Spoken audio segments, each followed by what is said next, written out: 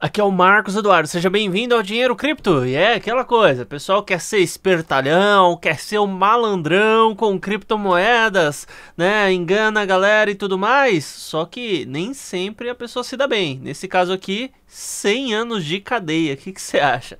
Bom, vou te convidar a se inscrever nesse canal, ativa o sino das notificações e deixa um like nesse vídeo, assim você me ajuda bastante. E o segundo link que está aqui na descrição é referente ao robô de operações que eu utilizo, que trabalha com criptomoedas e é bem interessante porque ele não vai cobrar de você licença de uso. Você paga apenas uma porcentagem do seu lucro e, Marcos, se eu não ganhar nada com ele, então você não paga nada. Então eu acho justo pra caramba. Isso obriga os caras a trazer estratégias cada vez melhores e o melhor de tudo, o dinheiro não fica na mão deles, fica na sua própria conta na corretora.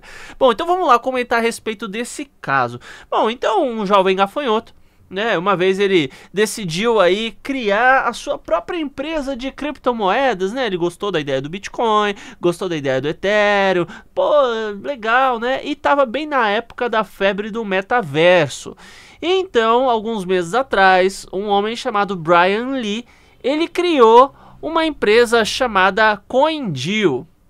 Até então, os fundamentos pareciam palpáveis, era interessante, só que o rendimento era muito mais alto do que normalmente você encontrava no mercado tradicional e no até mesmo no mercado das criptomoedas.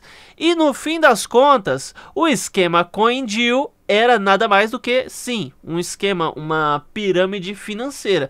Só que quando você olha aqui no Brasil, né, a gente viu aí empresas que sofreram condenação, não necessariamente por pirâmide, mas até então por vários crimes é, de enganar os outros e tudo mais. E a galera pega um período aí de prisão, mas não é tanta coisa, né? 15 anos o cara já tá na rua tranquilo. É, e sem contar o pessoal que foi para Dubai, né? Pessoal que tá, foi pra Argentina, depende da, da pirâmide, né? Cada um pula para um lado aí e foge por onde dá.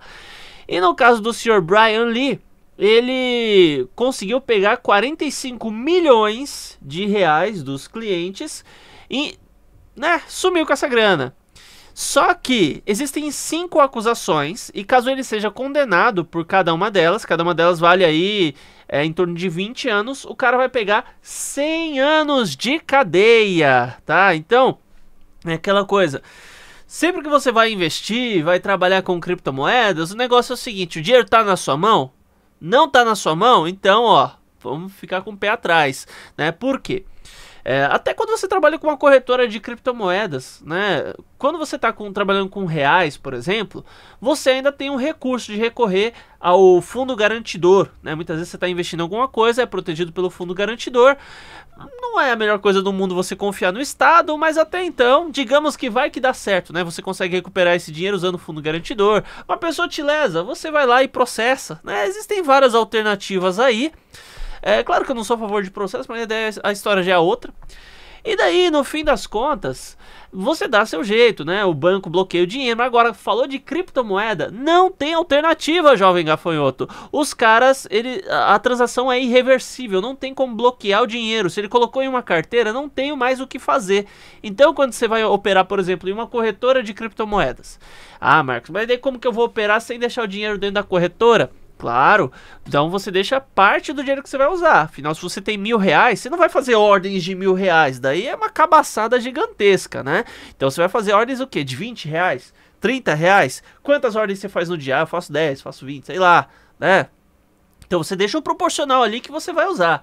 Agora, deixar a banca toda é a pior cagada que você pode fazer, né? Tanto é que é, você, cara, eu perdi dinheiro na Atlas quanto? Perdi dinheiro uma porrada de empresa porque eu insistia nessa, não, vou colocar meu dinheiro na mão, na mão dos caras e simplesmente quebrava a cara e muita gente já quebrou a cara exatamente dessa maneira.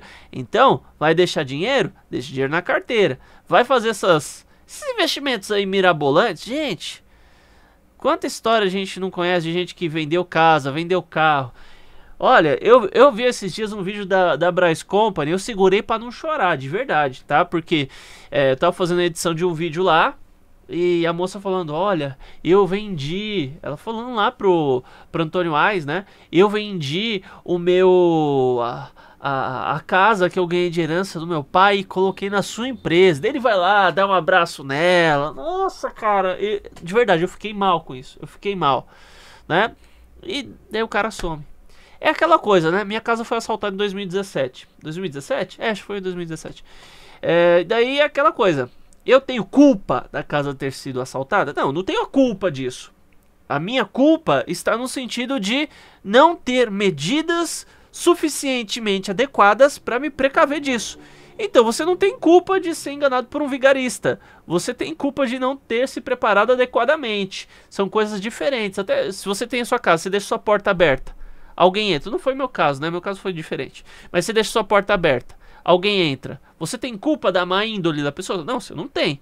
Mas você pecou na, sua, na segurança do seu lar, na segurança da sua família. Então, de mesmo modo, quando você trabalha com Bitcoin e criptomoedas, a segurança é redobrada. Você tem acesso à liberdade porque você está na descentralização.